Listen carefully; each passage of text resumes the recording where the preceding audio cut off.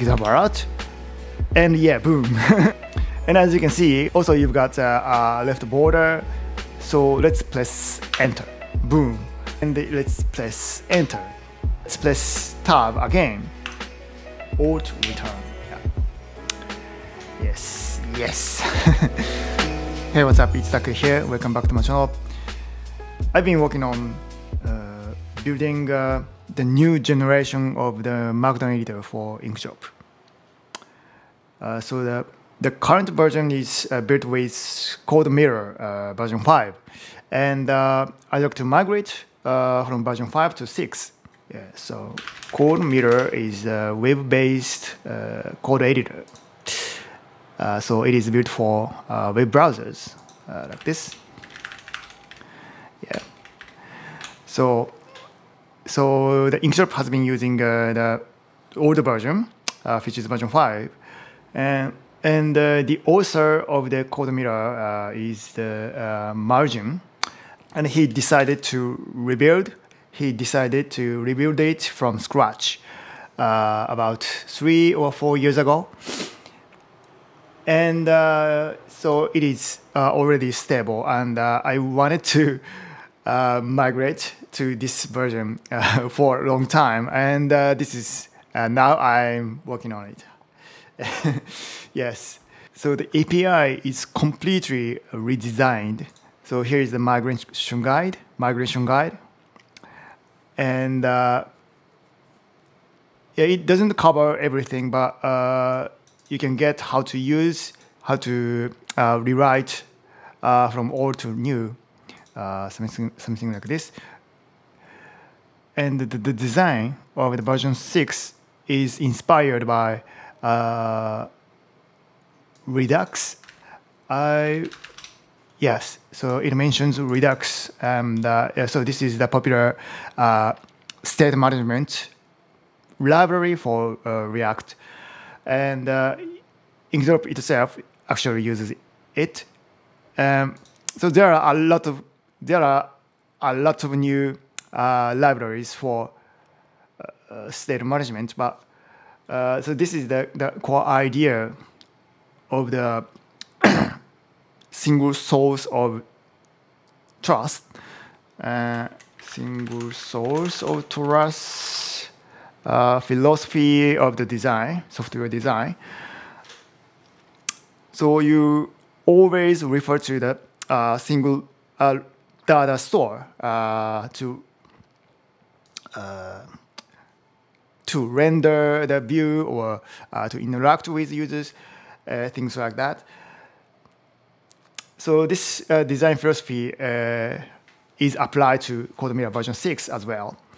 And uh, so here is so the view has the state. Where, so this is the uh, the single source of trust, uh, and you can update it like this. So this is this is actually like uh, Redux actions, uh, Redux actions. So this, so you can dispatch uh, any any actions that involves state changes. Uh, yeah, and uh, actually, this is very, very well designed. Um, this is highly extensible. Uh, but for me, it, it was kind of uh, complicated and hard to understand. This was this has been so fun to learn. So I've been reading uh, its source code, uh, which is available on GitHub. Uh, so this is the dev uh, repository, but uh, so this organi this organization has a bunch of repositories, and you can see how the search functionality works uh, by looking into the source code like this one. Yeah. So it's written in uh, TypeScript. So easy to uh, so easy to go and back uh, from your app and the library code, which is great. Yeah. So I'd like to show you uh, the the current progress uh, of the new Markdown editor. so I'm so excited. So the, the progress is uh, pretty good. Uh, here's the, the, current version. and uh, so uh, it supports uh, rendering the GitHub uh, alerts, uh, something like this. So you can uh, write uh, alert header like this, and uh, it renders that uh, like this. Uh, so it's like a, uh call out, yeah. And here is the and here is the new version. So let's say GitHub alerts and uh, yeah, let's create. Uh, so so here is a regular block quote. Yeah. So as you can see, it renders a, a, a left border uh, to indicate that it is uh, in the block quote. Uh, so you can easily know this is currently in the block quote. So you can you can quickly understand where the block quote starts from and to. So this uh, decoration is uh, pretty useful. And next is uh, GitHub alert.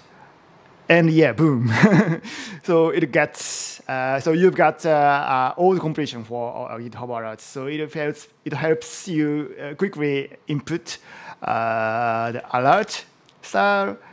So you don't have to remember every alert type, which is cool. So this is, uh, is a caution alert. And you can also uh, nest the GitHub alerts. Uh, so uh, it is a tip for you, like this. Yeah, which is so cool. And as you can see, also you've got a left border, which indicates that this is the uh, GitHub alert, and uh, it is uh, that, its type is caution. Uh, so the color is uh, red, and the tip type for the tip type it is uh, rendered as uh, Uh, green, and uh, so this is. So this uh, decoration is uh, the uh, line wide, so it doesn't support uh, decorating the nested alerts, but this is useful enough. so you can try note type alert hello world like this so this is the uh, first improvement uh, for the in the next gen next generation Markdown editor yeah. And the next new feature is the uh, table editor so I love this feature. Uh, so editing tables in plain text has been so hard uh, as you may know because it is plain text, so you have to care about uh, table delimiters like this. Yeah, uh, so it is annoying to type uh, each table delimiters and row separators, things like that. But this new editor helps you edit uh, these the these these tasks. So let's press enter. Boom. So the editor automatically inserts uh, the separators, delimiters, and the separators like this. So it's pretty useful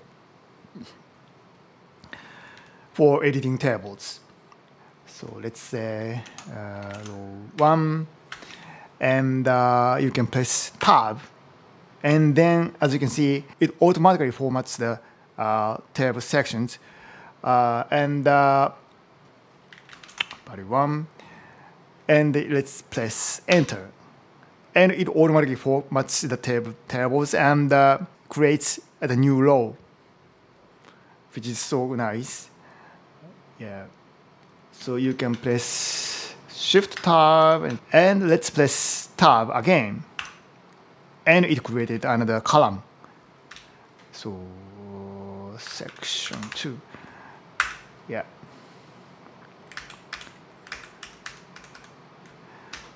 You can also uh, command plus arrow right to left to move the uh, cells.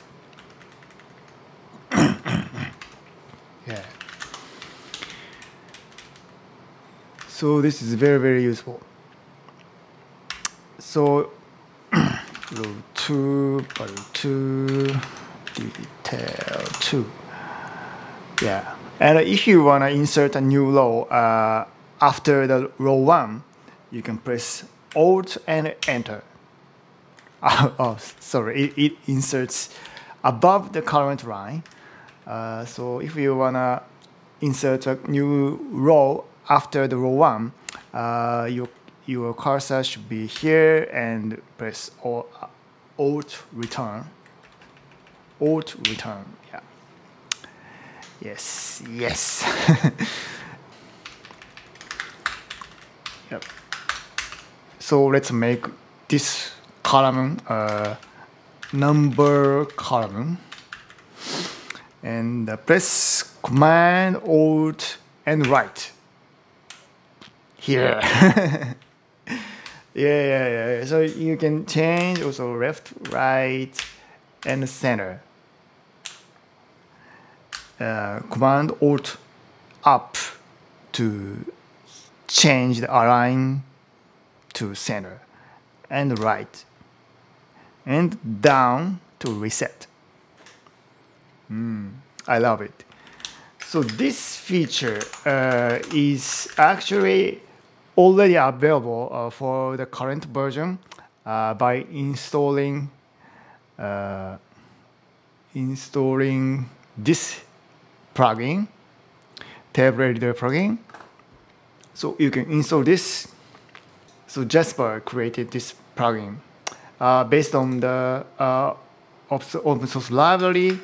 Uh, this library, yeah, uh, which was originally developed for uh, the Atom editor. So this is the port uh, for the uh, Inkdrop.